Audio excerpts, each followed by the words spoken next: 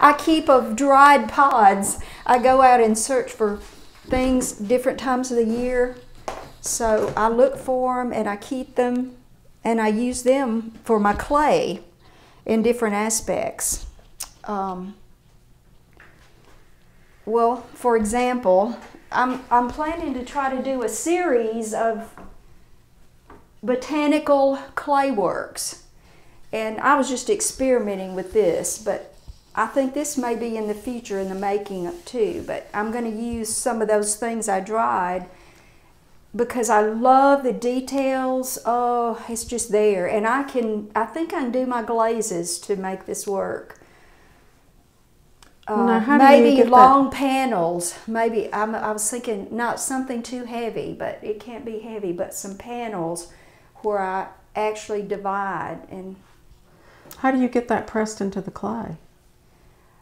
Uh, on the when I use my clay roller right here, after when it's pressed out, before I get it to the thickness that I want it, I put the object on and then lay something over the top of it under mm-hmm. that because I don't want anything sticking to my canvas. But and then I, I you bet you bring this down very slightly. If you bring if you bring the height of the roller down too far, it ruins everything. It, that's another thing you just have to experiment with how how much pressure you want for each flower in there. Because if you do too much you see it'll ruin the leaves or take out what you don't want. But this one's not been fired yet. But that's my next thought after I've finished this up. But but anyway yeah here's a here's a leftover there's a pod but I didn't put a face on him but I love these but uh, these are pods that I collect. All right, and I use these in the clay. I used a lot of these out there when I did the fireplace installments. You see them out there, the, mm -hmm. the tiles? Those were really used because I got ideas from them. Like the cap of the acorn, what I did was I just took my just my clay pieces and actually put it on top of the acorn. And then when you take it off, it leaves that beautiful cap and you can actually then put it on top and use it. And I did a lot of things from these pods. Um, I saved my poppy pods and from the poppy pods I created these. Because this is the most unusual factoring of a way to disperse seeds that I've ever seen. Because there's windows in here and this is hollow and I try to mimic because this is a study actually. These are studies of the pods themselves it I didn't use my imagination but I would like to in the future maybe just use my imagination. But these are actually mimicking or trying to mimic the pods right here. And even the texture right here. If you'll see these little bands that hold the stem and connect it's the same texture. But even the design on top. That's amazing Rebecca and I know it's not, I know other artists probably do a more perfect job, but this is my first try and I enjoyed doing it. But these are going to be mounted probably on another piece of clay and they'll go together all of these forms that I've created and it's going to be uh, just an exhibit type of pods. These I used the rose hips and rose hips come at the end after the rose blooms and they get bigger and larger and they have the fanciest little stamens that go petals up. But anyway, there I created those and I had fun playing with the thinness of that because they break.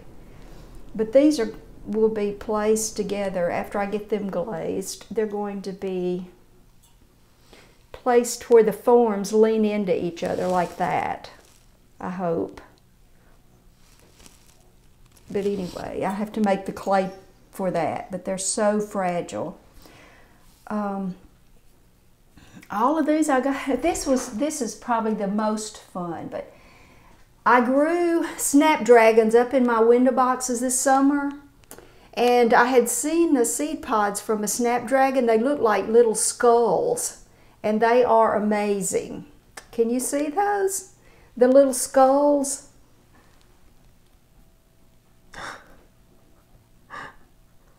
Only you, Rebecca, would see that.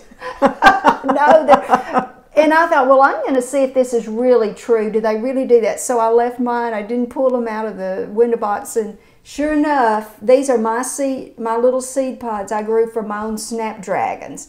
And I thought, well, I'm going to make that out of clay. That's just too cute. So there they are. There's my yeah. there's my little pea snapdragon pods. Pod people. and they're it's amazing how they actually do look like that and you're thinking that looks kind of scary but, so i've already got those glazed um, i made these from my okra pods that i grew looking in my garden so i used those there's all kind of unique pods with textures and i just enjoy that and the wheat makes a beautiful, I've done it before, so Henry gathered wheat for me because I couldn't find any around here, but let's see. This came from the fig. The fig, like you usually pick your figs, but the pods sometimes lay flat and they have little seeds that break open inside if you don't get them. It looks like it's going to speak. Yeah, I know with teeth. Yeah, these I really enjoy doing these. Uh, there's three of these that will fit together, and they're pretty fragile too. And what are those? They came from the iris pods, the little Oh, iris seed Mhm. pods, I see. and they they're of course tinier than this, but they flick open and yeah, I grow. I had to observe those. Some of them now, yeah, I think I do have one of those iris. Some of them, after a while, they want to deteriorate, but but I've learned things that make the most beautiful kind of prints and things like that in clay. It just it comes from a lot of experimenting and these are ferns and I'm let's see I think I'm I've got some if I walk over here I'll put some in here I found these growing in a colonization in the meadow just this week and I thought oh my gosh that is going to be beautiful. And they make these pods right here. They, they make these pods because I found some. But I'm pressing some right now. Aren't those pretty? And that's going to be, those would make some really pretty um, paintings. I've got, if you're going to use clay, clay though, clay flowers, you have to do them you can't do them pressed and dried. They have to be live mm-hmm. because of the bulk of them. You Yeah. know. But these are. This is what I've been piddling with. Like these took so long. Like this one took me like all afternoon just to to create and make. And then I have to plan how it's gonna. I talked to Gail yesterday, and she said to build a a flat platform and that way when the glaze touches both of them it'll hold them both together because we have to think about how you're going to mount them and that was an issue So, the glaze will hold them together. right and well so you can see which ones go together Mm-hmm. these go together